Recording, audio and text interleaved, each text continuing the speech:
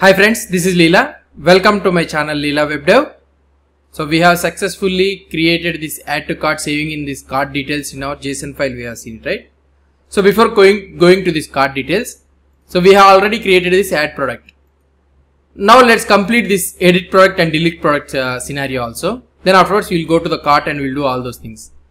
So for do for showing edit product and uh, delete product, instead of showing this one in the product list page, I will create a separate link here, something like admin and in this admin, so we will show the same product list and there we will show this edit and a delete cart. So let's go on to this one.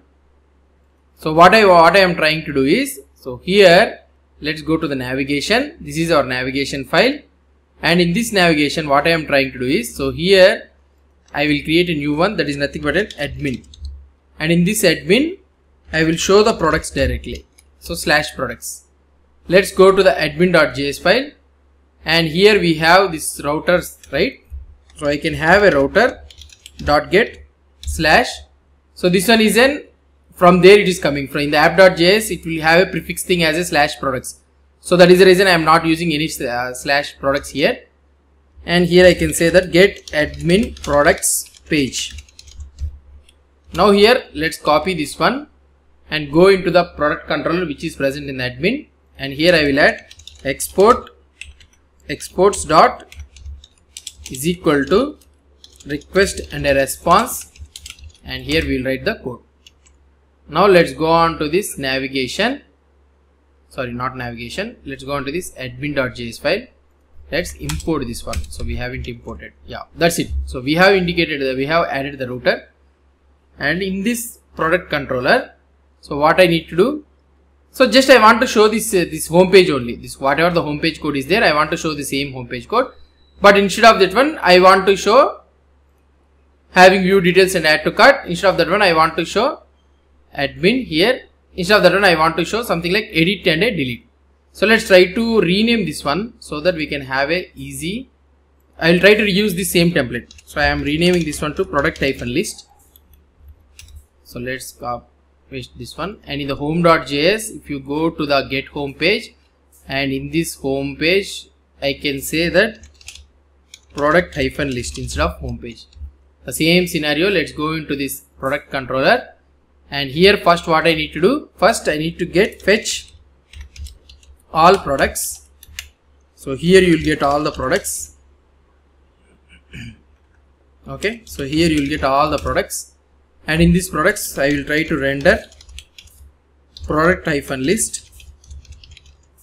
And here we can send the views data. So where we don't have any views data so let's create constant views data is equal to um, what I can say here I can create something like page title. First one is the page title.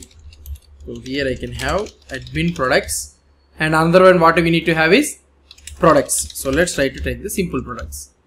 Now if I go into this one refresh. So here this is an home page and this is an admin page. It's look both look one the same only. But it should we should have a difference. Why? Because in the admin we should show edit cart and uh, sorry edit product and delete product. Whereas in the home page we should show view details and the add to cart itself. So what I can do is for example let's say that here I will add a flag in such a way that admin is true whereas in the home page so that is nothing but home controller. And here this is the product list right? Here I can write admin as a false. So using this flag we can try we can do the differentiation between the admin product and the home page. So here I can write is equal to so if admin is there then I can write admin products list so if it is not there means I can use simply this one only product list so first step we have completed now we are able to have a differentiation if you go here if I try to refresh this page and if I go into the home page okay fine admin so we are able to see admin product list. So we are having a differentiation between the home page and also the admin page. In the same scenario here also we will try to change this one such that uh, edit product and also it should be delete delete product. So here I can go into this one. So this is our total code right. So this is our total code. And here I can write if admin if it is there sorry if admin is there then here I can add like this and I can use the else like this. And up to here I can use like this. That's it so now I can copy this entire code if admin sorry. If the admin is not there means this is the pro this is the pro this is the output we will be showing. And if it is an admin means so there is no need to for us to include the cart. And here I will show edit. Okay? And uh, what I can say here we will be having we will try to do those things also. And another one we will be having delete mm, we will try to change these uh, urls also. That's not a problem. So now else we these all things are completed. Let's go into this one. And here if i try to refresh see here i'm able to see edit and delete. Whereas in the home page if i try to see i'm able to see this one as view details and add to cart. So now we are able to have a clear differentiation in the template. Why i am trying to do this one is the same template we are able to use the same template but depending on the routing what is the routing car the controller which controller we are calling so we are able to show the different content in the same template. So that is the reason i have used this one. So same thing. Product list hyphen e.js so this is how we can use the same template and we can behave the and we can make the template to behave in a different way. So this uh, so for what i have did here we already have a add product here and we want if you want to edit this product so we'll be having this edit product. And this home cart add to cart and all those things we already did.